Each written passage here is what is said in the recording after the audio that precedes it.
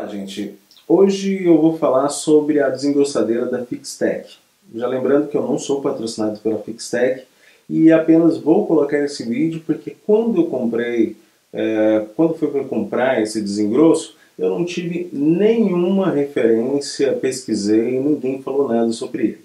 Ele tem 2000 watts de potência e se você ver ele funcionando, ele realmente entrega esses 2000 watts. Além disso, ele tem uma, uma prancha que você pode colocar de 33 centímetros de largura por 16 de altura. Já é uma grande vantagem também em relação às outras. Bem, é, vamos dar uma olhadinha aí no vídeo, no funcionamento, para você conferir.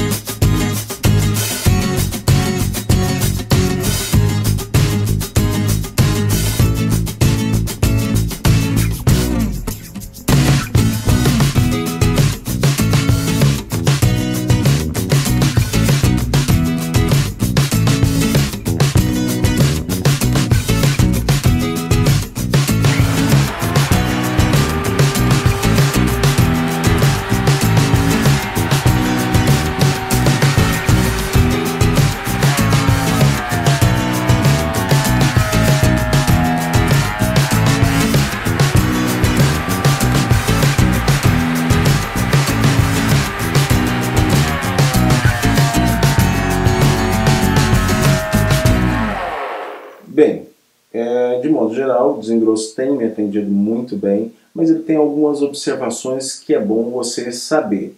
Ele é muito pesado, ele tem mais de 40 quilos e não é a carcaça do desengrosso, é realmente o motor de 2000 watts. Eu não sei porque ele pesa tanto, mas é muito pesado em relação aos outros. Tem uma coisa que todo desengrosso acontece. Quando ele esquenta, quando ele aquece, ele desarma. Com isso, ele para o funcionamento, enquanto ele não esfria, ele não volta ao funcionamento. E isso também acontece, não é diferente com esse desengrosso da Fixtech. O que acontece de mais é, diferencial, que eu não gostei tanto, é que ele demora muito para esfriar.